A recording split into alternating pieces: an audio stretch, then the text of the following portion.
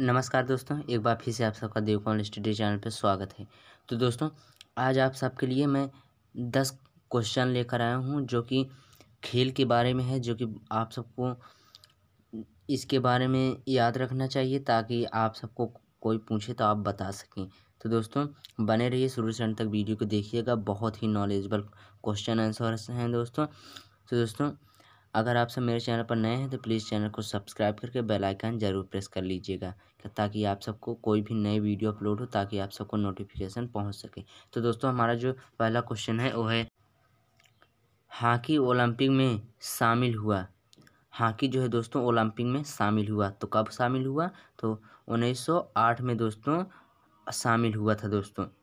तो दोस्तों, हमारा जो है अगला क्वेश्चन आता है, वो है दोस्तों भारतीय हॉकी संघ की स्थापना कब हुई? भारतीय हॉकी संघ की स्थापना कब हुई? तो दोस्तों, हमारा जो राइट आंसर हो जाएगा, वो है दोस्तों, उन्नीस सौ सत्ताईस में हॉकी संघ की स्थापना हुई थी। तो दोस्तों, हमारा जो अगला क्वेश्चन है, वो है दोस्तों, अंतर्राष्ट्रीय हॉकी मैच की अवधि है।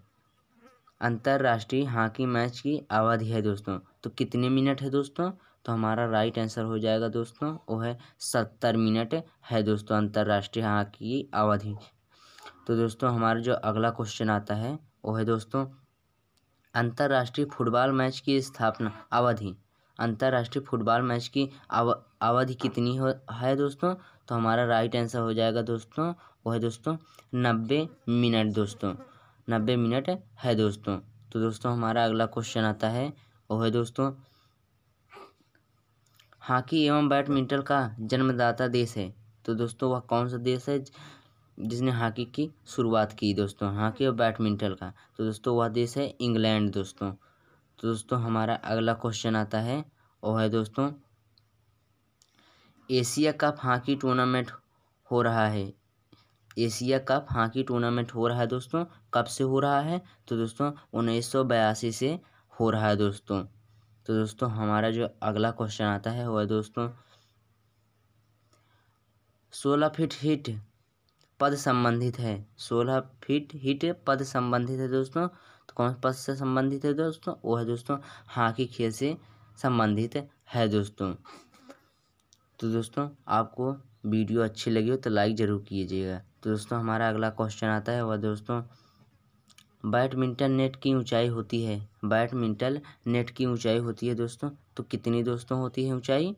तो दोस्तों, पाँच फुट एक इंच होती है दोस्तों, जो कि बैडमिंटन नेट की ऊंचाई होती है। पाँच फुट एक इंच।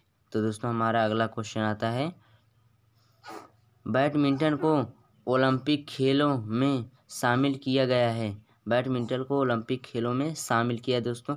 कब से शामिल किया गया है? तो दोस्तों, उन्नीस सौ बानवे के बर्सिलोना से शामिल किया गया है दोस्तों।